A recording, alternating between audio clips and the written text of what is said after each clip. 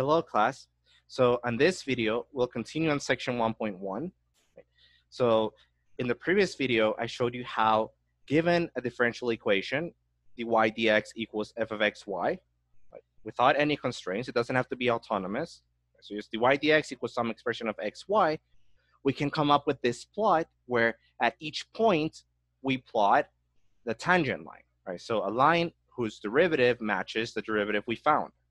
So we did all the work in the previous video. However, as you saw, the, it's a lot of work because the more points we want, we have, the more accurate our, our representation of the solutions is gonna be. So instead of doing it by hand, we can just do it using you know, some software. Uh, in this case, I'm using Mathematica. You can use MATLAB. I think you can use Maple. There's a lot of software you can use. Okay. So again, please download Mathematica. Now, I'm not gonna go over all of the code right now. I'll, I'll when I actually ask you to you know use Mathematica, I'll, I'll go over more explanation and, and give you pre-written code that you just have to change a couple things. But basically, see all the things I can do with Mathematica. So here I plot in my differential equation, y prime equals 2 times x times y, and specify that I want the initial condition 1, 1, right? That means that the, the, the function or the solution goes through the point 1, 1. Okay. Then I said to solve it, and the and it immediately, you know, tells me what the solution is. Okay. So just one way in which you can use Mathematica to easily solve differential equations. Now, sometimes they're going to be exact. Sometimes the work they're going to do is approximations, but in general, you're going to get something, okay? Now, as simple as that. Um, now, there's some things here that I do just so I can actually draw the direction field and then also plot the function on top.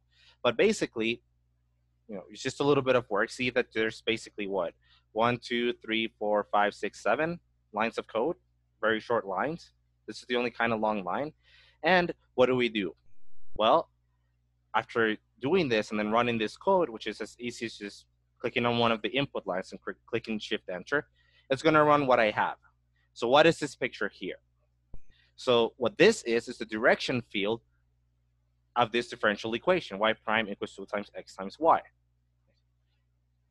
And I'm telling it to plot, you know, on specific intervals of points and to do it on the xy plane going from on the intervals negative 2 to 2 for x and negative 2 to 2 for y. So as you see, you have the plots of each separate tangent line, right? Just as I was drawing that in the example in class.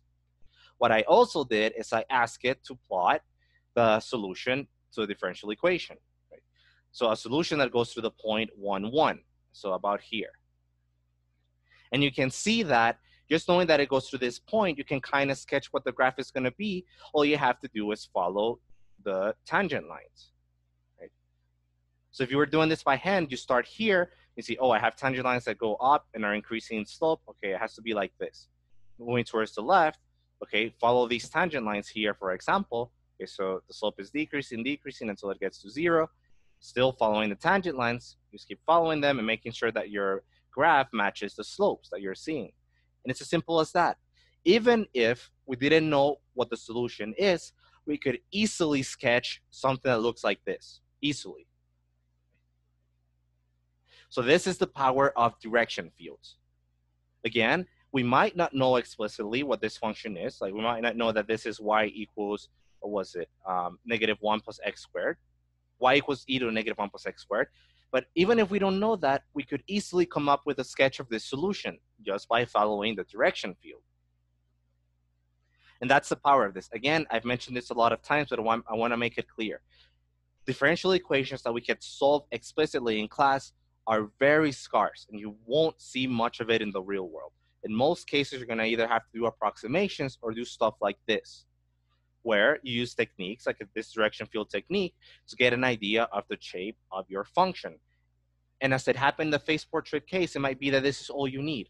Maybe that you don't actually need to know what the function is. Really, all you wanted to know was what is it going to look like. And if you have the direction field, you know what the function is going to look like. Okay. So a very powerful tool and, an, and a very powerful reason as to why we use Mathematica and other computing software. We don't do these things by hand anymore.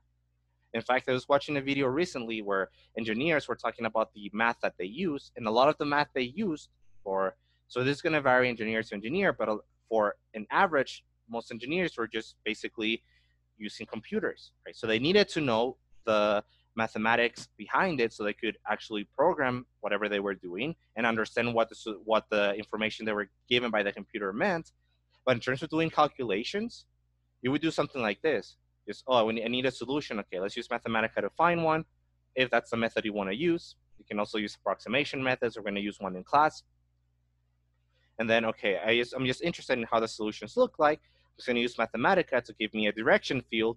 And then, well, I can either plot the solution or I can just, you, know, you can basically just trace this. You could print this off and then trace it with a pencil and you would get something like this. So I'm going to show you an example of that. So it's going to be the last video on this section. I'm going to print out a arbitrary, you know, direction field for some, you know, random differential equation. And I'm going to show you how I can plot a solution just following the, the slopes of the tangent lines without actually knowing what the solution is. But again, very powerful tool. And hopefully this is starting to show you why it's important to get used to using these softwares like Mathematica and MATLAB.